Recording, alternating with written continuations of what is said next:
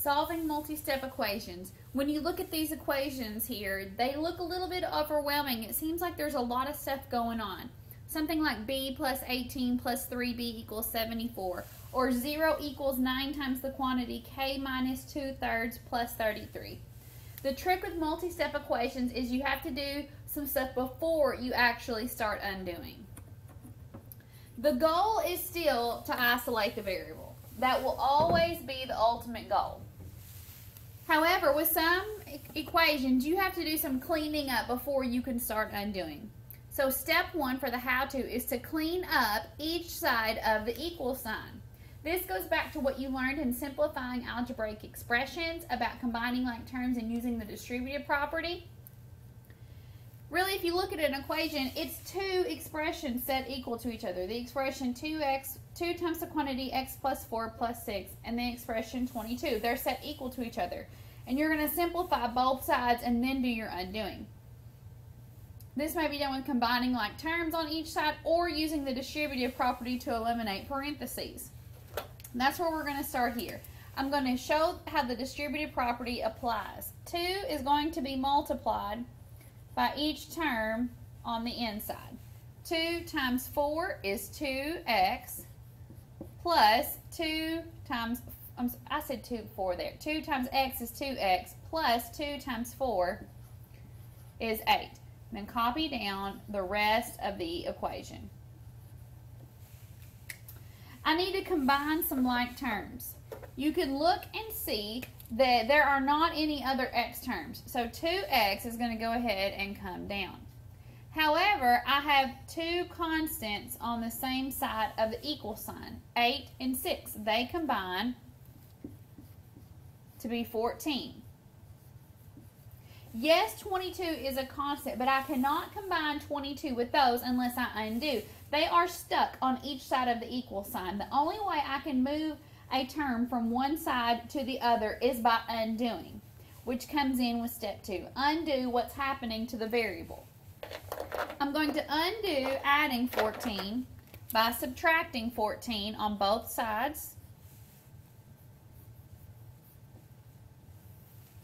It cancels. 2x comes down. 22 minus 14 is 8. And then x is being multiplied by 2. I'm going to undo that by dividing by 2 on both sides. And then x equals 4. You can still check your solution in your head. Put um, 4 back into the original equation. 4 plus 4 is 8. 8 times 2 is 16. 16 plus 2 is 22. Here are a couple more examples. With 7n minus 1 minus 2n equals 14. We're going to combine our like terms. I'm going to start with 7n and look for other terms that have an n in there. Negative 1 is not a like term, but negative 2n is a like term. I'm going to combine those. 7n and negative 2n give me 5n. Then copy down the rest of the equation. It reads 5n minus 1 equals 14. It's all simplified. I'm ready to start undoing and isolating the variable.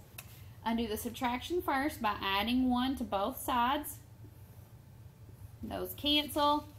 5n equals 15. I'm going to undo multiplying by 5 by dividing by 5 on both sides.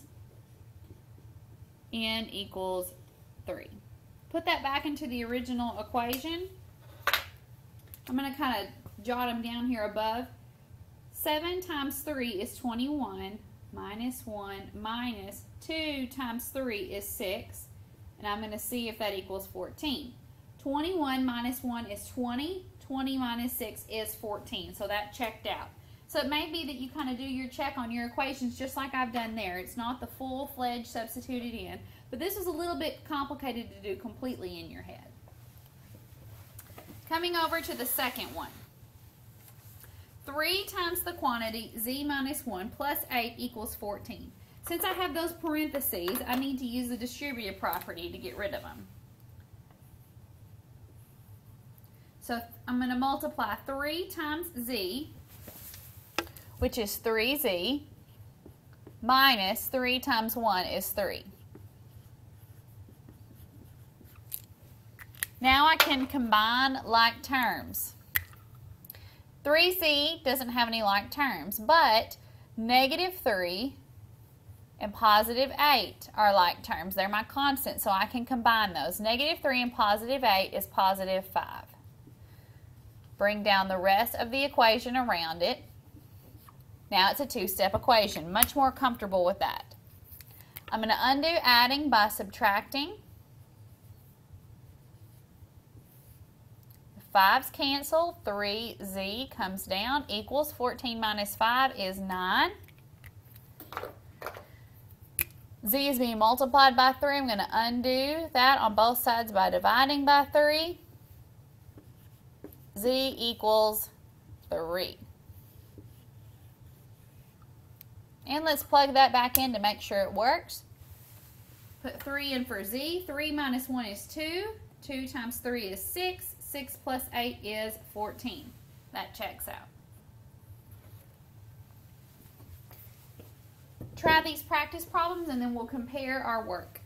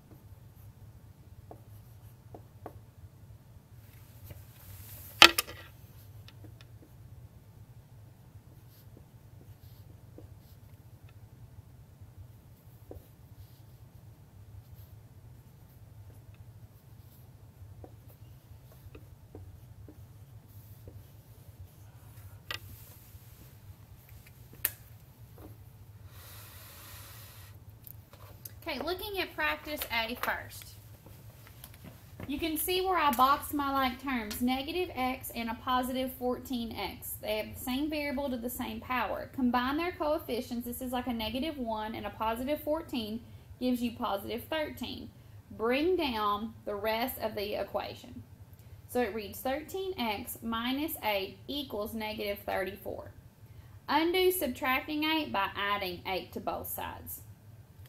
Those cancel. 13x comes down. That equals negative 34 plus 8 is negative 26.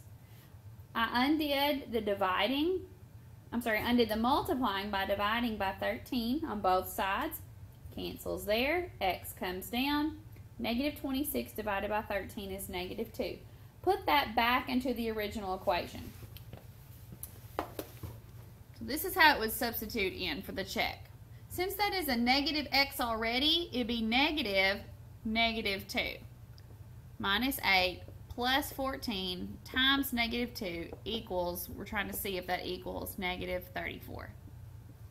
Negative, negative 2. That's like a negative 1 times negative 2. They cancel out, so that's a positive 2 minus 8 plus 12 times negative 2 is negative 28. See, that equals negative 34. 2 minus 8 is negative 6.